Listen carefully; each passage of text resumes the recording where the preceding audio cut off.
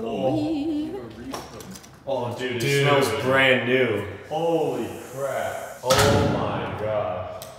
what the? F- Alright, yeah, this might have to be uh, cleaned off first. It says keep out. Oh, What in the world? welcome home. Oh, is this the housewarming gift? Yeah. Let's go. Take a listen to our doorbell. This is the wealthy person chime.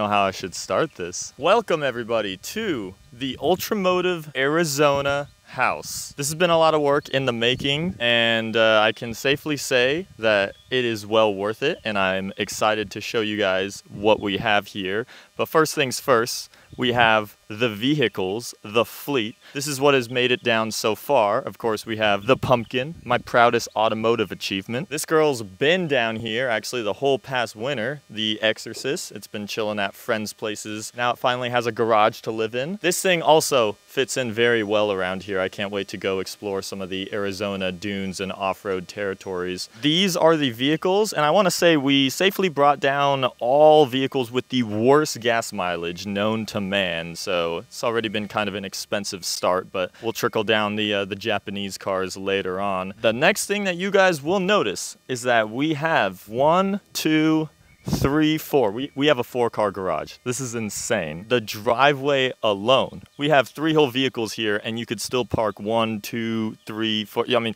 you, you could probably easily put six to seven cars in here. And then right over here, we have side RV trailer or secret cars if I want to hide them for you guys. This is where my trailer gets to live. I mean, this actually goes infinitely into the backyard, so one car hoarder may say that you could, if anything, put probably countless more cars back there and onward. The conclusion to all of this is that we have room. So it already, you know, it's a, it's a lot newer of a house than actually what I even came from. So it's already got standard epoxied floors. The lighting is awful. Not sure what we'll do about that. We have some storage racks up there. You got some turbos, got some titanium exhaust pieces. Have the garage cabinets and stuff with all the goodies and everything. And this is the bay where I want the Mercy, the Camaro and stuff to live just because it's easy to just back straight out. But we have another bay I'll just open her up. And you come over here. Or if you want to be a little fun, you got a little passageway right through here. And then this is where the egg, the uh, Haley's RAV4, it resides for now. This thing actually hangs outside. It actually doesn't fit in any garage. Um, anyone who's owned a Raptor before may have uh, come across that issue. But it's, it's just too big, frankly. So it'll be outside soaking in, in the warm sun for every time I have to get into it this summer. We have room. And uh, this is frankly the dream setup. This is all I can ask for, and there's definitely going to mm-hmm. be a lot more room for more projects and, and whatnot that we can do in the future. And if we come over here, you guys may also notice that this is a corner lot, which is another thing I really wanted because it's just private. There has significantly been a lot less cars that travel through here than even the Seattle house. Just good privacy and also plenty of parking for friends and people to come and hang out. Just stay right here. Now check this out. We have what I would call a freaking corridor. Like, what do you even do? This is the most grand entry that I could ever imagine for myself. You just have an internal walkway. The ceiling height, I mean, this is a pattern that will continue throughout this house. The ceiling height is remarkable. Follow me in here. So, if you are bored and uh, I don't answer the door in time, you can entertain yourself to a little bit of uh, some putt putt. You already know we, we got to make one for the for the video. Boom. Call me Tiger Woods. This is the front lawn area entry point. Voila. Actually, wait, hang on, hang on. We got to do this the, the, what is it, the Vanity Fair or the Vogue way? Greetings. Welcome to our establishment. This is the little entry circle right here. We have these beautiful prints. Shout out to Troy at Gorilla Mad. He made these. Right here, anyone who gets to come over to the crib will get a complimentary De Agostini little model car because I have collected too many over all of the years. And they, they got some cool stuff too. A lot of it is, is vintage American muscle, but at the same time, you have like a Cobra R right there. I know my boy Zack's gonna want that. And so we have plenty more, and there's even more to restock when this runs out. So literally, you will be getting automotive gifts when you come to this facility. Cat number one this is Zilla, named after Godzilla, named after the most fabulous Group A racing car of all time, the R32 Skyline. That's the first cat. Keep the cats in mind, there's gonna be more of them. This is the first room. This is the office that has been dedicated to Haley's. She's got her dream car. Work in progress still. You'll see a lot of things are work in progress in this place.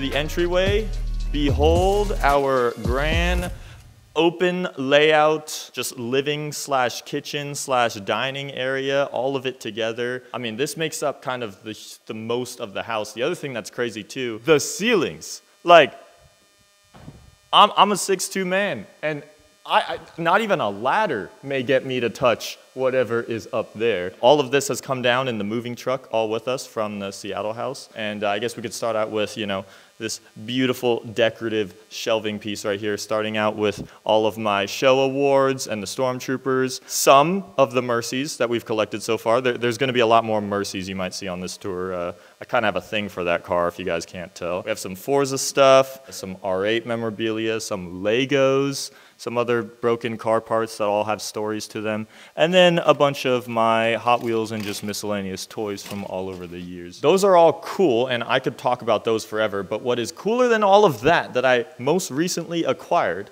is if you come over here, this is a Murcielago candle. And I think it's only fair that we do light it for the one time. I don't know what's even going to happen to this thing over time as, uh, as it would melt away. Oh my gosh, it's lit! Oh yeah, it's uh, the wax is already dripping a little bit right there. Ultramotive neon sign by U-Turn Neon is the company that sent that out. And uh, just a couple other stuff here and there. Of course, if you're bored, we have the most fabulous lobby magazines and catalogs for people to look through. Cat number two what up, Zeus? This is Zeus, Z-Boy. He is uh, one of the coolest looking cats I've ever seen. He's got little cheetah stripes, cheetah spots, and uh, he actually usually has way more energy than this right now, but he's catnapping in the middle of the day. This is my lovely grand kitchen. Similar kitchen to what we previously had, very dark, very masculine, I would say. One of the things I've discovered so far is that this microwave is very powerful, as uh, somebody forgot that tinfoil was still on his tacos as he put it in there and it kind of engulfed and may or may not have almost burnt the house down initially. And the other beautiful thing is that this is the dining room area, and it's not like a fully separate dining room that a lot of houses have, which I think is frankly useless because you never use your formal dining room. This house doesn't really have a formal dining room. It just has kind of a nook extension of the kitchen, and that's what's perfect for this table setup right here. And we still have some things to uh, hang up as we have the Exorcist cross that Hennessey gave me and uh, a couple steering wheels. Now this is where the house gets a little bit complex. Try and bear with me here because we're going to go into each of the rooms that branch out from the main area, starting with uh, the pantry, which isn't that fascinating. This is what I've designated as my office. It is far too roomy than what I'm used to in that literally, like, I don't know if you guys can hear this, but it's kind of echoey in here right now. So that's what, that's what all of these are for.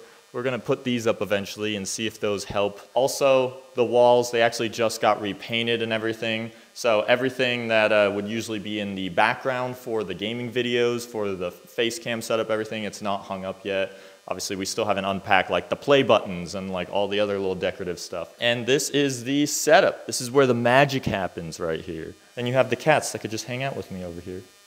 Whoa, don't fall. It's funny because this room literally has like a little cubby area. This house actually used to have a hallway right here, and then they built a wall. Now that it's blocked off as this weird little closet, but not closet, but not livable I don't know, it's a weird space. I might set up my uh, vinyl cutters and stuff here. So if I wanted to print out like a livery or anything like that, like this could be the work area for that. It's, it's probably one of the strangest places in this whole house because I don't really know what to even do with that space and you can't really like block it off or hide it. That was one wing. Next wing over here, we have the spare rooms and the spare beds. So this is just another guest spare bed right here. They all come with their own attached bathrooms, which is really nice. So anyone that wants to move in or just spend a week here, we don't have to worry about them sharing and going into our bathrooms. Now what's crazy, you'll see another pattern of this is that the closets in this house are a little uh, excessive in that we've put a lot of our uh, wasted stuff and boxes and whatnot all in here. But the fact that this is like a guest room closet,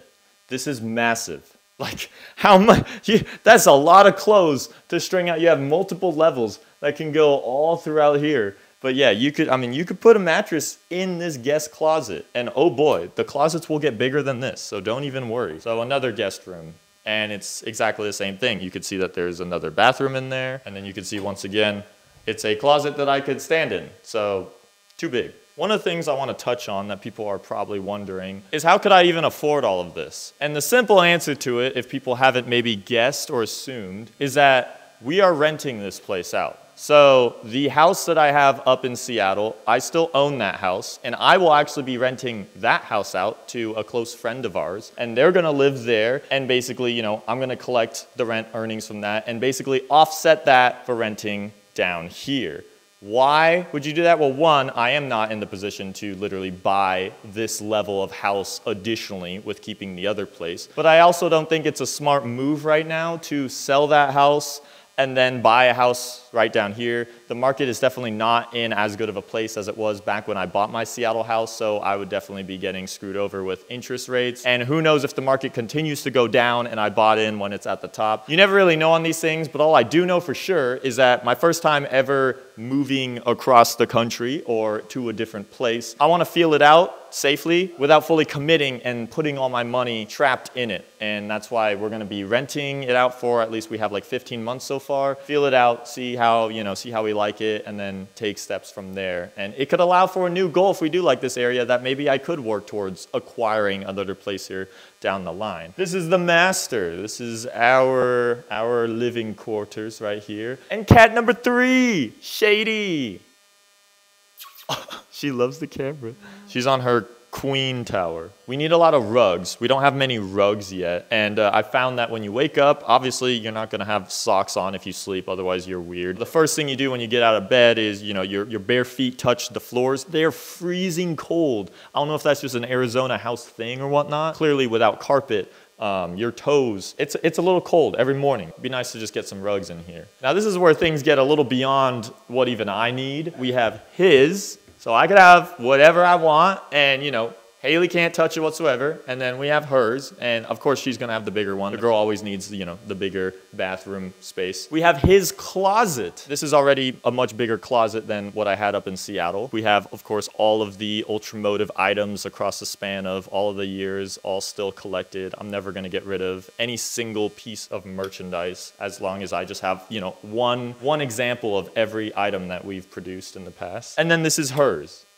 Like, bruh like put the air mattress here right now and you could just start charging rent in this closet. This is the biggest closet I have ever seen for a house that's this small. This house is about like 3,500 square feet total. I mean, for how grand it is, is actually not that much square footage. I don't know, I just feel like this closet has no business being that big for the size of house that it is. And then if you go from the master, right over here, you have a guest bathroom, you have another closet, and then you have the laundry room right in here, and then this door leads you to the garage area. You guys got it all mental mapped and figured out, right?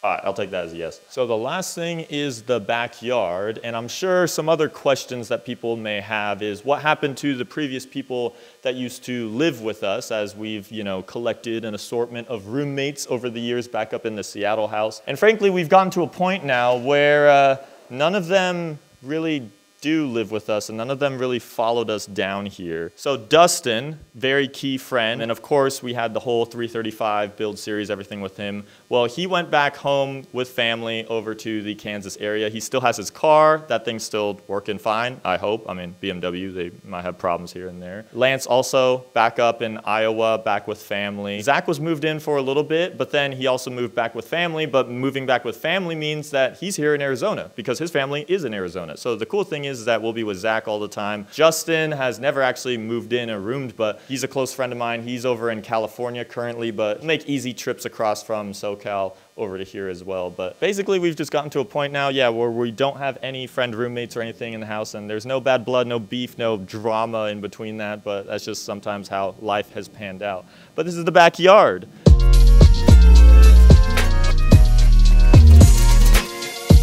And uh, there is something very huge that's missing from this backyard that was kind of a takeaway of this place that we found. Yeah, there's no pool. And we're going into uh, the start of Arizona summer. I mean, it's already like 85 degrees right now as the sun's going down, and it's gonna get worse. Now, we do have what you wouldn't need in the summer, which is a hot tub. I think this is gonna come very handy in the winter time, but there she is. Jack Ultra grills can happen over here. We got the built-in grill set up to the yard. If you wanna garnish your steaks, you have lemons. When life gives you lemons, which frankly, it's given me a lot of them right here. Actually, I do have a secret. Um, we actually did bring Dustin with us, and he's been in here the whole time.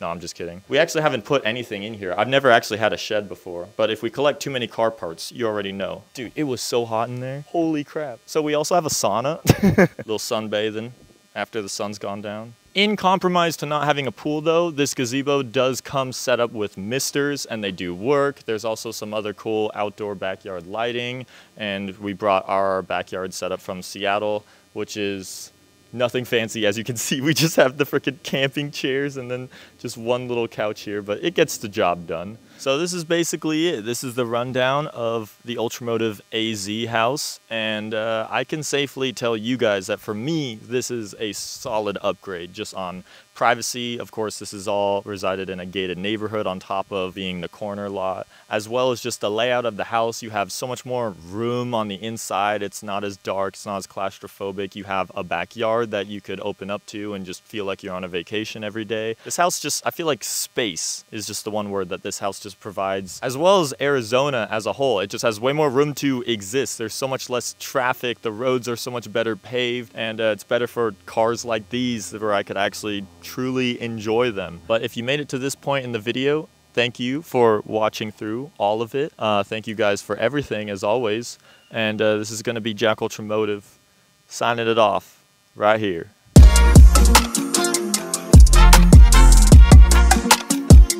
This doesn't even look like sunbathing. This looks like you're about to go into your own grave.